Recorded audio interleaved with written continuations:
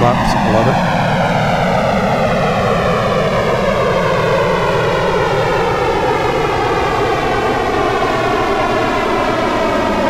Flaps up and retract.